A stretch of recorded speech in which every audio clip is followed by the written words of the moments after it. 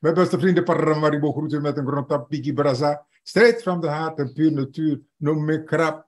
No brasa brasa alasma. Want abo ma brasa na brasa toe. En dan deed hij ai praat loli. En loli nou een bita die e. Dus, pas op. Zegen uw kinderen. Desnoods drie maandslaags. Er is altijd een kindje op de wereld wat uw liefde nodig heeft. Alla piking, naar wie piking. En als u ziet dat kinderen zich misdragen, op wat voor manier dan ook, dan zij, zijn zij de slachtoffers van alles wat fout is binnen hun systeem, binnen ons systeem van normen en waarden. Dat moet u weten. Ze hebben correctie nodig. Maar, mijn vrienden, het is niet iets wat van de ene op de andere dag zal gebeuren. Want de slechte voorbeelden zijn groot en groots verspreid. En daar nemen ze steeds voorbeelden aan. Is jammer hè, maar het is zo. We moeten gaan naar een nieuwe mindset.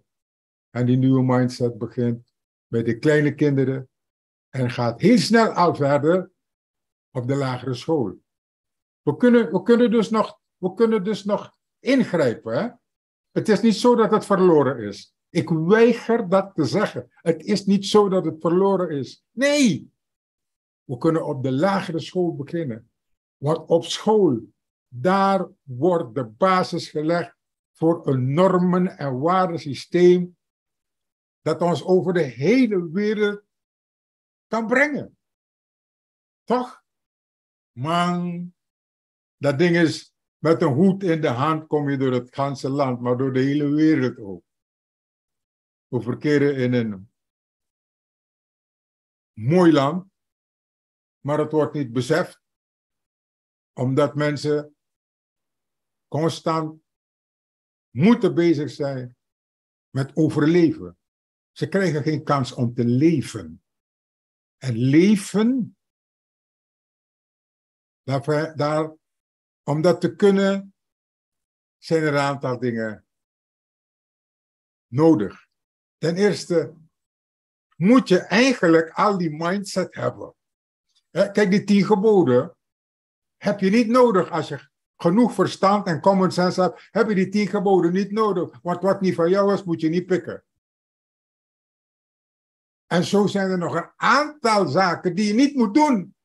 Wat er overblijft om te doen, is gigantisch veel. En dat brengt je eeuwigdurend vooruit. En dat geeft je de mogelijkheid om niet alleen te leven in Suriname, maar overal op de hele wereld. Dat is die Tori. Nou, ons onderwijs zou een plek kunnen zijn waarin je de start maakt met frisse normen en waarden. Om dat aan kleine kinderen te geven. En daarmee ben je bezig om hun mindset te plaatsen precies zoals het geplaatst moet worden. Dat wil zeggen, in de eerste plaats, respect voor elkaar. Respect voor elkaars mening. Respect voor het leven. Respect voor het land. Respect voor de cultuur. Respect voor jezelf. Want als je respect hebt voor jezelf, dan kan het niet anders of je hebt ook respect voor andere mensen. Er schort veel aan onze samenleving. Maar wij moeten niet alleen maar proberen om die grote dingen te tackelen, maar we moeten kijken naar wat er met de kinderen gebeurt. Ons onderwijs is daar heel belangrijk in. Daarin is niet het streven voor ik ben beter en jij bent best en ik ben beter en jij bent best. Het gaat, beste vrienden, om emotionele intelligentie. Emotionele intelligentie is meer dan de rekensom van 1 en 1 is 2. Want als jij bezig bent met je rekensom 1 en 1 is 2, heb je dan een verticaal resultaat. Wanneer we bezig zijn met jij en ik, het land, de waarde van de immateriële zaken, empathie, gevoel voor elkaar, dan ben je veel verder dan 1 en 1 is 2. Wat mij betreft zijn ook de kinderen die 1 en 1 is 2, die moeten nadenken. Wanneer die kinderen empathisch bewust zijn en bewust van hun eigen waarde, al zo klein, dan hebben we een heel ander soort Suriname. Want dat is de basis waarop die nieuwe Surinaamse mens gebouwd kan worden.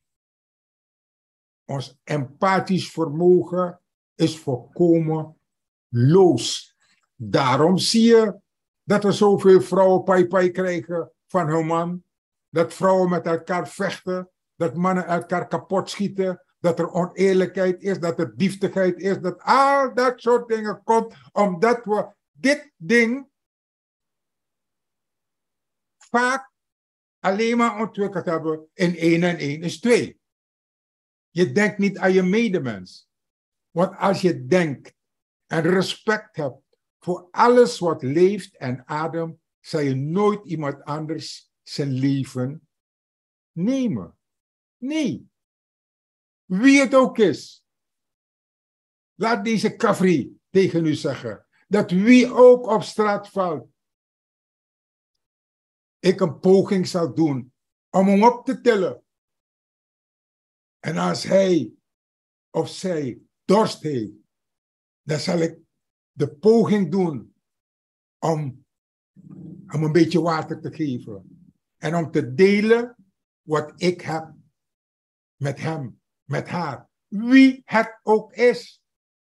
En stel je voor dat jij in, die, in, de, in zo'n situatie terechtkomt. Mijn beste vrienden. Het leven is om te leven. Surinamers krijgen geen tijd om te leven. Ze zijn bezig te overleven. Maar alleen maar met één en één is twee. Zonder het uitgebreide empathische vermogen kweken we alleen maar nieuwe lillekoes. Het is aan u om te doen wat u moet doen. Zegen uw kinderen. Driemaal daags. Viermaal daags. Elke keer als u de kans hebt, zegen uw kinderen. Wij hebben het land geleend van de kinderen. Paramaribo groet u. Tot later. De rustig en gebruik. Suriname United is the only way we are going to win this fight. je moet niet denken dat het op vandaag of morgen gaat. Nee, het is een investering in de mens. Investering in jezelf. Paramaribo goed, u gaat me laten zien